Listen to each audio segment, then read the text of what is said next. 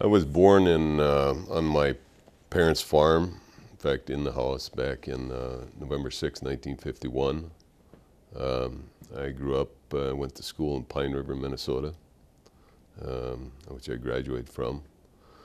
Uh, we were a big family. I have uh, six other brothers, which I am the oldest, and two sisters. Um, my younger sister, uh, well, the youngest is a girl, and the oldest is a girl. My older sister actually passed away uh, about four years ago. She had a lot of health issues. So right at this time, I'm the oldest. Um, I joined the Navy after talking to my uncle, my mother's brother. Um, and he came to visit us during the time he had off and showed us all this great trips he made and all this stuff. And I thought that'd be a fantastic thing, you know, for me to do. I wanted to get away from the farm life and, you know, just get out, get out of there, you know, do something. I really wasn't sure what I was going to do when I got out of school. My parents couldn't afford to send me to any higher education at that time. So I thought I'd decided that the Navy would be a good adventure for me. Uh, my parents uh, weren't too happy about that at that point in time. I was, but um, after, and uh, I actually uh, physically joined in March of uh, delay entry program, March of 1970, uh, before I graduated from high school, and um, went to basic training in July 8th at uh, Naval Training Center in San Diego, California for 13 weeks. And uh, when I left there, I went to uh, school, aviation school in uh, Millington, Tennessee, which is about 40 miles from, from Memphis. I spent approximately um, six, well, not quite six months there, getting the training I required to for go on to the squadron I was uh, going to uh, in California. And uh, my rate was aviation machinist may hydraulics, which I uh, didn't uh, later on down, on down the road find out that I wouldn't even hardly work in it, although I'd work with those people. Uh, when I got into the squadron in uh, the following spring, I was um, sent over uh, to the Philippines to actually replace another um, person in that unit that was what they call uh, in the Army KP. In the Navy, they call it mess cooking. And it was a requirement at that time for E3 and below to do 90 days of that. Well, I had done about 60 days already and uh, in the shore station and then NAS Lemoore. So I had to finish out the, the balance of that time on ship which uh, you're attached to ship's company and they think they own you at that time. And I, uh, they decided I was going to stay there longer. But our leading chief petty officer, which is like a first sergeant, he got me out of there, got me back into the, the squadron. I was able to work in the in the airframes division, uh, and uh, that opportune time I wanted to get on the flight deck where the a little extra money. You got hazardous duty pay, and you get to work in the open air, which I enjoyed. I didn't, didn't have enough seniority to do that, so I to stay in the shop and work down below deck, which is just on the hangar deck anyway. But uh, I did get up on the flight deck a few times to work on aircraft, but not during flight quarters, so you don't get the hazard duty pay. Um, once we got pulled back into San Diego after that first cruise I was on, which was a short one, um, I stayed in the airframes division uh, for a time period. But I found out they were uh, short uh, plane captains in line division, they called it. So I applied for that job and I, I got it, and uh, I was able to move over to the line division. And uh, I stayed there the rest of my tour with the unit. Um, in that uh, position, I was uh, I moved up uh, to the rank of E4, which is a petty officer third class, and that's an NCO in the Navy. And uh, I became uh, we had a chief petty officer E7 that was in, in charge of us, and I became uh, second in charge of, uh, there was 10 of us in the squadron. Although we had 14 aircraft, not all of them flew at the same time. A lot of them were down for various reasons.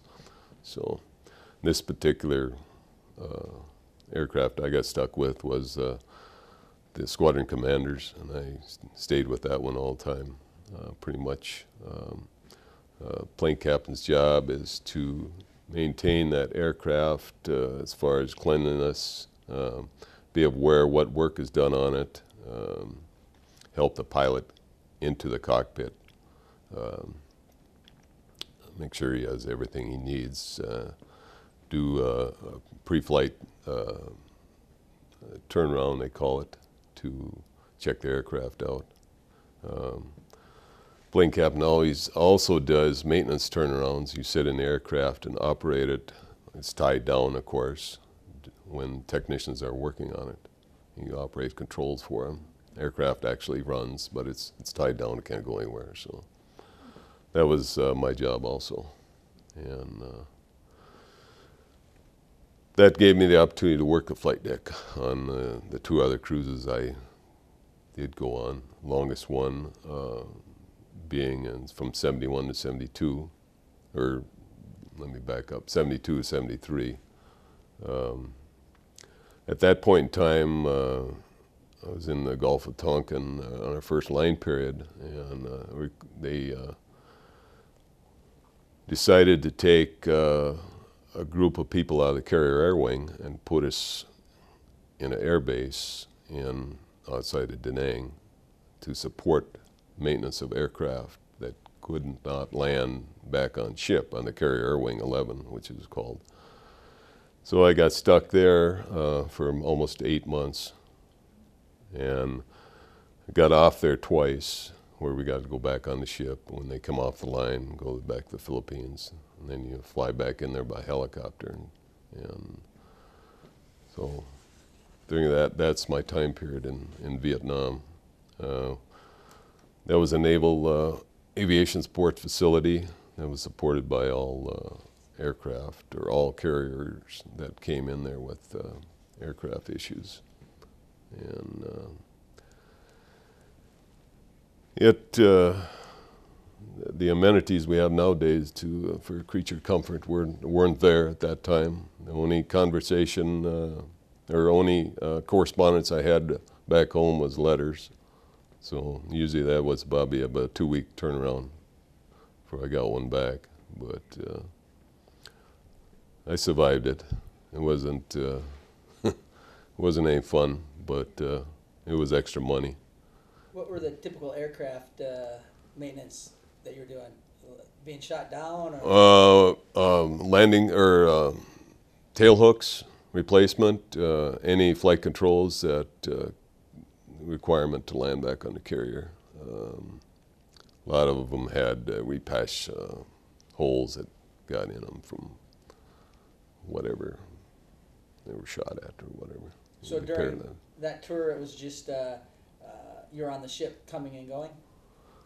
Uh, that that line or that uh, time at uh, Tonkin Gulf, yeah, we were. Um, they go out for a line period for probably anywhere from 25 to 30 or 40 days. It varied in length of time, and then they pull off the line.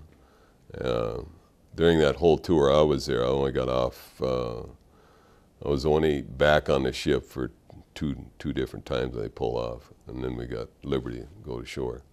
When I was, at the time I was at uh, Tan Son Nhut, uh, they didn't allow us to leave the base uh, for any reason whatsoever. Uh, we were just uh, supported by the Naval Air Facility there, and, and uh, there was only approximately, it varied from, there were probably anywhere from 15 to 21 people, and uh, just a small detachment. What was an average day like for you? Well, we got up to the crack of dawn, pretty much. On ship, um, flight quarters varied. Uh, sometimes you'd work the, the night operations, which begin at midnight and carry on into noon, and it'd shut down. Um, most time on ship, it's every day, uh, anywhere from 14 to 16 hours. Uh, can when at, during that uh, during that tour I was on, um, when I got off and got into Vietnam, yet uh, our days were were a little less shorter, weren't as long. Probably most of the time was daylight to dusk, and uh, we didn't want any lighting and working on aircraft after dark at all. We didn't want visibility. A lot of times uh, you get stray fire that comes in. They didn't want them working on.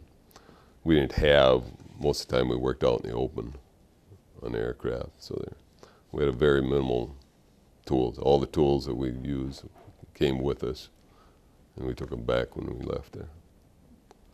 Variety aircraft or 18s or Uh, we worked on F-4 Phantoms, worked on A-70 Corsairs, um, some A-4 Skyhawks, um, uh, A-5 Vigilante, which is a reconnaissance aircraft, A-6 Intruders, um, some uh, P-3 Orions. Um, I most of those I just helped uh, assist wherever needed. I didn't do any of the technical stuff. Help clean the aircraft, uh, fix things that were you know simple, like panels, and put the stuff back on.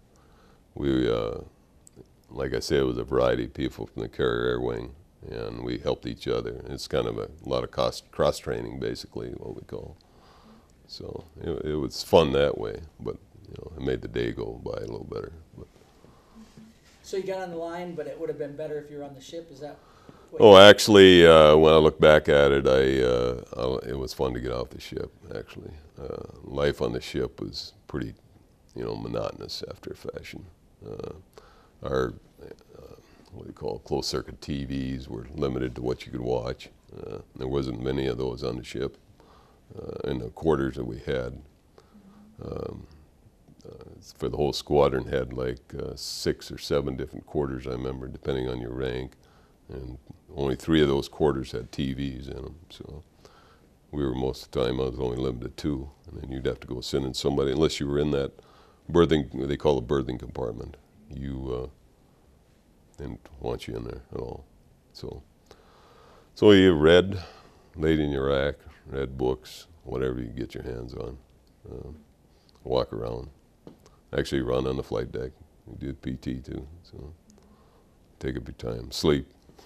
That's about it. That's all the time. Yeah, that's all the time you had. Pretty much. Working 16 hours. Yeah. Working long days, you gotta sleep whatever you can. Um, you're on call. Yeah, what you can sleep. Uh, the berthing compartment they had at that time that I was in was right below the, um, right forward to the what they call the round down on the flight deck, where the aircraft first hit. Very noisy, and there were also arresting gear right above us too. So you had to listen to that whine of the landing back in. So you got used to it after a while. What were your living conditions like on shore? Uh, we lived in uh, Quonset that were, I shouldn't say Quonset, uh, it's uh, partially in the ground. They're about three to four feet. And it's wet most of the time, and damp. You know, we didn't have any, they had these big hurricane fans about size of the umbrella behind you, and one on each end of there. But no, no such thing as air conditioning. That didn't exist, of course. Um, it was uh, the food for the most part is good. Um, a lot of times uh, there was a shortage of various things like salt, sugar sometimes. So, you know, when that hopefully they'd replenish that within a few days. That that sometimes you go four or five days with Kool-Aid that pretty tarty tasting. I remember that, and the water was. Uh, you know, it's a group shower. Our shower was in a tent set up. Uh, it's pretty pretty rough living, you know. But uh, I look back at it, I survived it. It's uh, uh, the biggest problem I had was keeping my feet dry. That's uh, that's something that stuck with me all my life, you know. So socks was you get a good pair of clean, dry socks on. That that really helped. So I, I developed uh, what they call, I guess I call it trench foot, you know, or uh, almost like athlete's foot, same. And uh, your feet start peeling off, you know, and that's that was the worst thing. Uh, boots could never stay I Had two or three pair of boots, and uh, you get them wet almost every day. You know, and hopefully the other pairs are dry, so you have a dry pair for the start of the next day. Always pretty humid then, or was Very, there heat? very, very hot. Um, yeah, I was probably when I went in enlisted in the Navy. I was probably about 155 pounds at that time, and I and I think I was probably 160, 165 that I weighed, and you you you eat like no tomorrow, but you never gain any weight because the, you sweat it all off. You know, it's uh, it was miserable for that for that reason. You listed a lot of aircraft. Were they all Navy planes then, or were you doing cross? We, Air Force had some, uh, we did have a, uh, a captain, a Navy cap, or excuse me, Air Force captain on board that was in the unit, uh, but he flew naval aircraft. But we also worked on Air Force planes too that would come in and need some minor thing fixed. And for the most part, it was Navy aircraft. Very, uh, every once in a while. I think for the whole tour there, there was probably only I'm guessing three or four that it would uh, would come in and require something fixed, and uh, they had to land there. You know, that was their their only choice. So Amy's probably gonna get mad at me. I'm gonna jump forward just a little bit because I'm, really curious about this question. Listening to you, um, I had this conversation with uh, some Vietnam vets, and a lot are happy the way that the military is being treated now. And since you've lived through both, uh, as a Vietnam vet, is that comforting to you, or is it? Yes, very much so. Okay.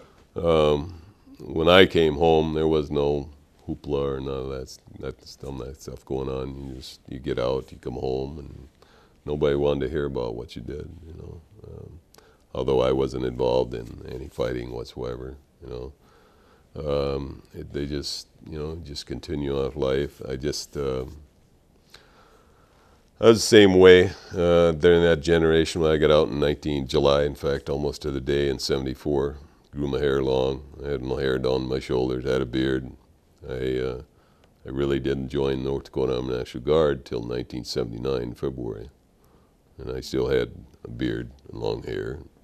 They told me, "Well, you're going to have to cut that off." And I, I guess it was time for a change. So, no, I look back at it as a good experience. Um, uh, it uh, kind of set me up for the deployment to Iraq and what I experienced over there. And, although climate's a little bit different, it's some of the same living uh, when you look back. Comparisons are somewhat the same, although this day and time is a lot more modern. You know, amenities are of course a lot better, but. Uh, I was able to get through every day. What unit were you in? Uh, 142nd, 142nd. HSC 142nd, Uh, so, uh, did you return to Bismarck or Fargo? Fargo. Okay, so uh, yeah, I mean, it was it was proud to be an American. Just Oh yeah. watching you guys come home. Uh, Want to touch a little more on that feeling versus leaving? Uh, Well, that feeling. Uh, uh, I actually came home on Mercy leave in in uh, after Thanksgiving of 2003. In fact, the day after, and uh, my wife had some issues uh, with her health. Um my son, uh, my youngest son, who at that time was uh, probably about 19, uh, between 18 and 19, had some real uh, issues, and um, we had to get through that. So they allowed me to come home for 30 days, and we worked on that. And uh, during that time, she had some surgeries, which corrected the problem she had.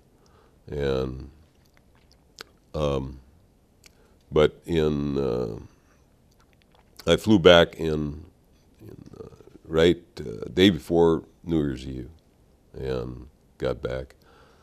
Well, when I we come back in March, uh, we landed at Fort Carson. Uh, I was uh, in the last group to fly out of Balad, out of the 142nd. I was in, I got left up there when uh, everybody else, or the whole battalion, went back to Arifjan to to uh, clean the equipment and all that stuff. And uh, there was approximately 200 of us. I was actually the acting first sergeant at the time. Um,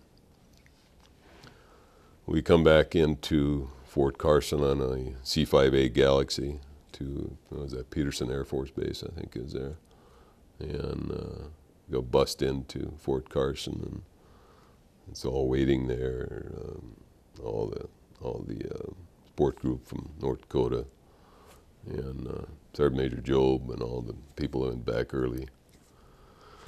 And the first thing they had for us was beer. that was fantastic. Um, then we started that process the, very early that morning of, uh, of uh, going through the what what you call um, not uh, am I thinking post deployment or whatever you call it, processing, and it was pretty fast and furious. Uh, when we got got uh, ready to leave, it was uh, it was a hurry up and wait thing. Hurry up and wait, wait, wait. Finally, we got on the got on the plane. Well, what I didn't know at that it was a it was a diverted uh, Northwest plane from Minneapolis that was was sent to Fort Carson to pick us up. And the reason I'm telling you that is my brother works for worked for Northwest at the time. And he was in the he was a supervisor up there that was talking to the pilots uh, in Minneapolis at the time that they were getting their their briefing to what they had to do. And uh, he flew up to Minneapolis here. A couple of my brothers, a lot of my relatives flew up to see us and uh, to uh, greet us and you know for the year we were gone. And he was going to try to get on that flight, but he couldn't make it. Uh, but uh, I was the well, actually the chalk commander at that time. The group was flying back, so I got to be the first one off the plane. You know, so it was kind of a big deal. But uh, my son J- uh, Josh was with me too. In Iraq? Yes, he deployed also. He's in, been in the guard for almost 11 years. And uh, we sat together on the ride back and talked about our year we were gone and things that happened and how we were going to react because he didn't have the opportunity to come home. So, you know, it's it's quite a quite a different uh, feeling when you get off the plane and all those people are lined up there to greet you, and uh, um, it's a lot to take in. It's, it really is. Uh, I look back at it, it was I was just a I was like a zombie, you know. No, you know, you got all these people here. Actually, I just wanted to get out of there, you know, but I stuck around. I Talked to a lot of people didn't even know me. A couple people walked up there and thanked me. A couple that walked up saw uh, Josh and me standing there, my wife and my other uh, oldest son youngest son. And uh, they asked who he was. I said, "That's my middle son." Were you deployed together? Yes, we were together. Wow, they, they, that blew them away, and they didn't quite understand that. But um, yeah, it was a great feeling. All those people there to see us, uh, airport full. Um, it wasn't the same back in, during Vietnam. There was there was nobody. You know, when I when I flew back and got out, uh, just my parents there to greet me. You know, and that was it. And, Did you run into any negativity, being spit on or called names or any Uh, yes, um, during a variety of trips I made home during the course of my four years in, you'd see that in airports and various places. Um, they didn't want to talk to you. They'd look at you like, you know,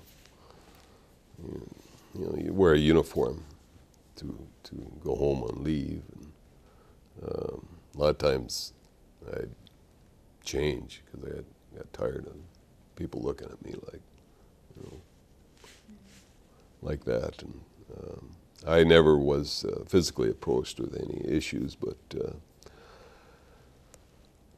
you know, the, the the draft dodgers, you'd see those those people. I had a few relatives that were draft dodgers, and they gave me a hard time, but uh, you just walk away from it, you know, let it go. Was it harder or easier having your son over there? I, maybe both. Actually, for a while it was harder because he had to work indirectly underneath me, and uh, you know I can, you can't have favoritism.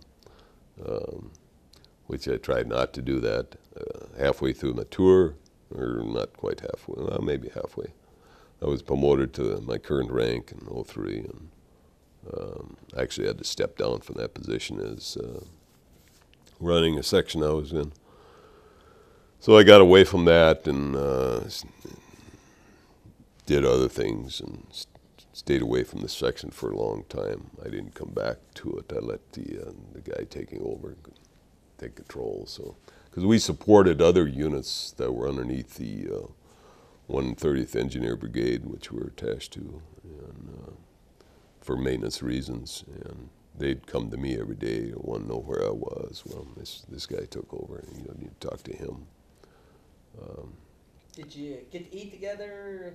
Um, some supper meals or evening meals we did in the dining facility, but uh, most of the time he didn't eat breakfast. I'm a big breakfast fan, and uh, he wouldn't get up that early, you know. So not not real often.